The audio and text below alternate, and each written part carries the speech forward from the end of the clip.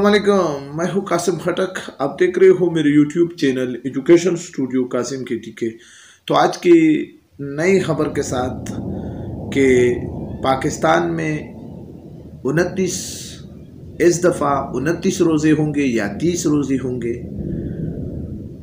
तो इस खबर को तो अभी तो टाइम है इन लेकिन ये बात याद रखें कि अक्सर सऊदी हुकूमत, सऊदी अरब के ममालिक हमसे पहले एक रोज़ा, हमें, हमसे पहले एक दिन ईद करते हैं।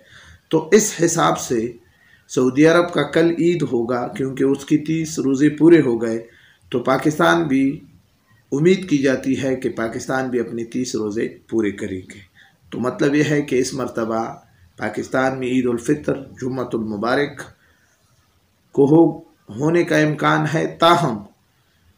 रूहित हिलाल कमेटी आज चाँद को देखने के लिए बाकायदा उसकी बैठक होगी।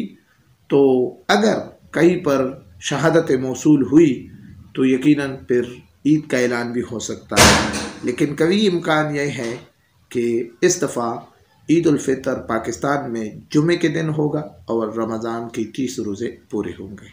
Thank you for watching my खुदाफिज़ अगर आप मेरे चैनल में नए हो तो प्लीज़ सब्सक्राइब करें और साथ बेल आइकन भी प्रेस करें।